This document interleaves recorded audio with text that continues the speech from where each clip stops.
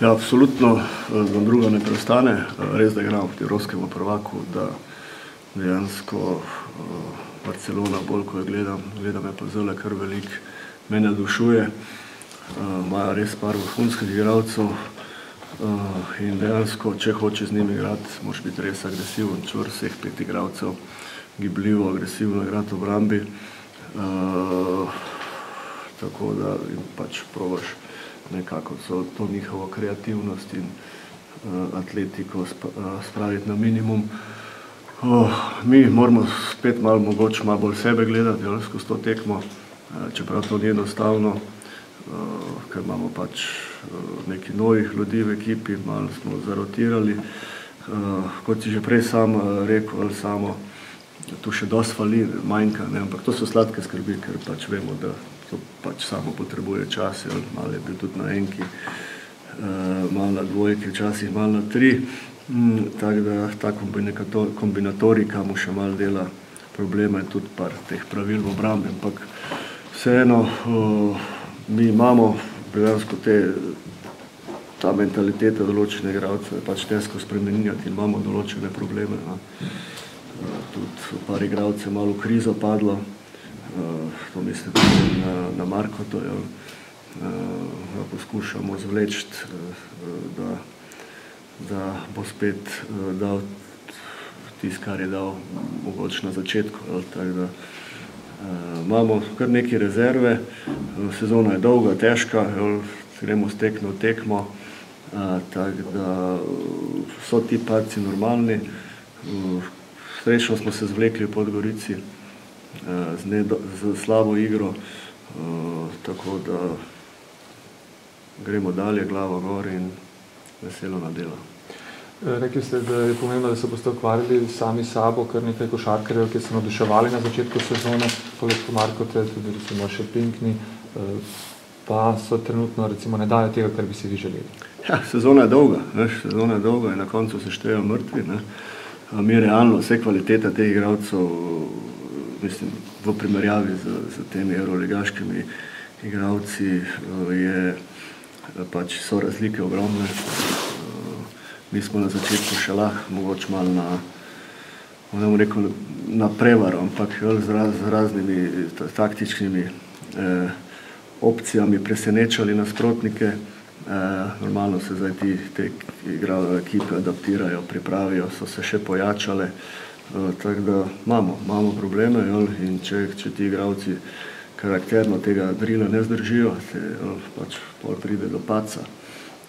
Kot sem že prej rekel, sezone so dolge, naporne, vsi imajo lahko slab dan, boljši dan, nasproti imaš ekipo, ki naredi vse, da te zaustavi, da ti prepreči, včasih imaš tudi po igralca dva, tri, rotirajo na tebi, ampak tako je. Mi smo izvlekli, bil v bistvu nerealen rezultat na začetku in bil ta padec pričakovan, jaz sem ga mogoče pričakoval malo prej. Zdaj je treba pa biti pameten, trezne glave in pač zdržati sezono do konca. Najlažje je nekaj uničiti, najlažje je nekaj presekati oziroma spraviti v negativo. Treba biti pozitiven, delati, verjeti v to, seveda ima pa vse svoje meje, ne, in če pač ne gre, ne gre. Zdaj se je dvakrat v evroligi ponovilo zelo slab začetek drugega polčasa, ko ste prednost v prvem polčasu na hitro zapravili, ko je nasprotnik z agresivno obrambo zmedel Olimpijino igro.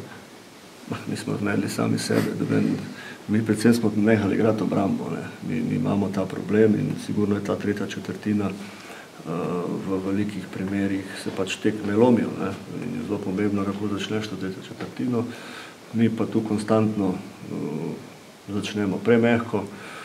Mogoče deloma tudi moja napaka, ker pač še zmerom nekaterim igralcem verjamem in konec koncev so tudi pokazali, ne, skozi prvi del evrolige, da da si mogoče tudi zaslužijo ali pa da, da jim, da jim daš še kakšne te oziroma prilike, ne. Ampak se, pravim, se je to začelo pojavljati prevečkrat in tu, tu sem tudi jaz deloma razočaran, da določenih stvari, ne, pač po, po tolikih tekmah, po tolikih gledanih kaset ne, karakterno ne spremenijo. Jure, se mogoče obeta kakšne spremembe v igralskem kadru s koncem Euroliga? Uh, ja, kaj bistvenega ne, možno pa je, možno pa je. Tako da bomo videli zdaj v naslednjih dneh. Te pa čaka zelo, oziroma vas čaka zelo gost razpored tekem dole v 14 dneh. Ja, vse je skos, ne, vse je skos, se vidiš, da tudi te lige ali nimajo kaj velik uh, občutka oziroma uh, nas ne šparajo. Ne. Uh, dejansko se vsak prazen termin izkoristi za takšno ali drugačno tekmo. Uh, tako da, ko končamo z Euroligo, četrtek imamo v bistvu štiri tekme na LB, vsake tri dni.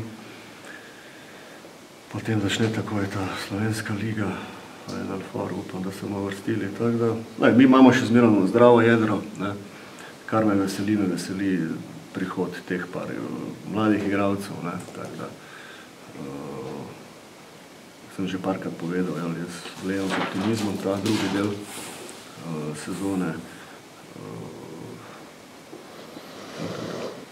Kaj pa če zdaj potegnemo ene rezime čez sezono, vse ta zadnja tekma ne more kaj bistveno spremeniti. Kakšna je tvoja ocena cele evropske sezone, pa morda se vidiš naslednjo leto spet za krmilom? Lej, uh, mi, mi pozavljamo eno stvar, da smo dejansko šli v evropsko sezono brez priprav. To, to se tudi recimo že malo vidi, ne. Uh, ko, ko ti dejansko, če nimaš priprav, ne moreš na taktiki delati, ne moš nadelati na detaljih ali na principih. Lahko delaš, ampak vse to je pol veliko teže, ker treningov je zelo, zelo malo, uh, greš iz tekmo v tekmo. Uh, deloma je zmerom teže, spoh če zmaguješ na začetku, uh, se te napake zmerom malo skrijejo. Ne? Uh, tudi če ti kažeš kasete in, in jih preprečuješ, uh, se mi zdi, da jim časi gre tu not pa tu ven. Ne? Uh, in smo res naredili, mislim, da no, ta prvi del je res bil vrhunski, ne, ne glede na vse. Kakšno, kako smo kadrovali ekipo, ne, se konc koncu doben od teh boljših resnih igralcev ni hotel priti. Ne. Mislim, dosti je bilo rizika, dosti je bilo vprašanj tu, dobro se je šlo. Ja, in konc koncev so, jaz zmerom rečem, so igralci tisti, ki ki zmagujejo. Ne. In uh, zato jim je tudi treba to uh, dejansko se jim za to ne zahvaliti, ampak to spoštovati. Ne. Ampak sem se že prej omenil, sezono pač nažalost traja uh, deset mesecev, ja, tekem je ogromno in dober si to, kako igra zadnjo tekmo. In tu, tu ni vprašanja. Ne. In tu se pol vidi karakter igralcev. Ne. Mi nismo imeli rosterja, da bi konstantno lahko igral na dveh frontah, ne, dejansko te kvalitete, ne, da bi v tem ritmu lahko igrali dobro v Euroligi in v NLB-ju, so bili ti paci, kar je normalno, pritisk se je večal, vse je bilo v bistvu podrejeno tej Euroligi, ne, tako da uh, smo imeli premali igralcev, no, premali igralcev, sami vete, v teh zunanih linijah, da so igrali po 30 in več minut, so bili na vodilnih mestih v, po minutaži. Ne.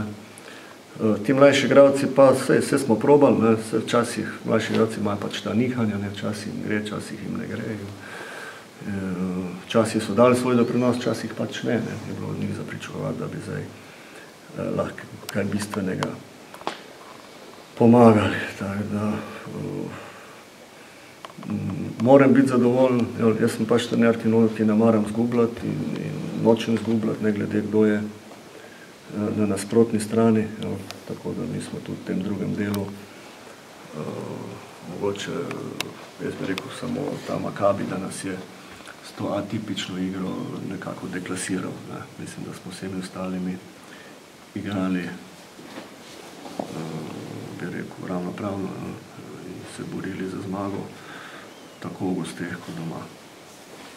Še en drugi del vprašanja. In morda je to tvoja zadnja tekma Euroligaška? Lej, težko, težko je, ja, veliko prehiter. Uh, so sigurno neke stvari, ki, ki, mi, ki mi niso všeč ali ki bi se mogli drugače odvijati, ampak če povzamemo, kje je Olimpija bila pred sezono, uh, moramo biti zadovoljni. Ali? Uh, tako da je pa se pravim še dosti pred nami. Uh, na koncu se mrtvi štejejo, ne, tako da uh, na koncu koncu ne, ne zavisi samo od mene. Ne. Če jaz sem še besedo mladih igralcev, v tem drugem delu da veliko večji doprinos. Kaj se je spremenilo, mogoče njihov pristop ali kako bi? Ne, to je zelo težko na hitrco, no, kaj se je spremenilo. Malo so silom prilike, ne, a veš, če ima pač starejši igralec res igra slabo ali pa poškodovan ne, ali pa ima velik faul, pač moraš, nimaš druge zbire, kot da mladega porineš ali pa te prisilijo situacije kot krka, ne, ko zgubljaš 20 pik, sta, sta boljši, ne, pa pač daš mlade not, pa malo riskiraš, ne. Uh, tu pač mladi igralci dobijo pa malo samozavesti. Uh, drugo, so v procesu zdaj že pol leta, to meni trenirajo z nami ne, in to, to se, se pozna. Uh, tako da uh, ni, ni nekih bistvenih razlogov, no, da bi. Uh, je pa res, da recimo ta Bertransko zdaj odigral, ne, je sigurno en igralec, ki, ki te prisili, da ga daš igrati, mislim, s, s, s, s to svojo višino, z znanjem, ne, mislim, tako da. Uh, in seveda ta pritisk rezultata, ki je stalno za, za tabo, ne, Olimpijs mora zmagovati. Uh, jaz mislim, da ni euroligaške ekipe, ki bi porivala mlade igralce, ne, ko imajo redko kira, ne, ali pa mora res biti igralec pravi. Ne, tako da, uh, nažalost tudi za NLB-ju, ne, si še zmeraj pod tem pritiskom rezultata. Ne. Uh, ampak vseeno, se pravi, uh, je fajn, če imaš 10 do 12 igralcev v rotaciji. Mislim, moraš jih imeti za ta, za ta, ta ritem. Ne. Uh, ampak spet se vrnemo to, kje smo bili na začetku sezone. Ne. Tak, da vse skupaj se dobro je šlo in pač če se bo kjer mlad pokazal v teh zadnjih mesecih, bo sigurno zanimivo. In to je Bertrand sigurno en igralec, ki ga lahko Olimpija drugo leto računa na njega, ne, če bi imaš poceni dobrega igralca, če bi uh, seveda zdaj se pokazal do konca.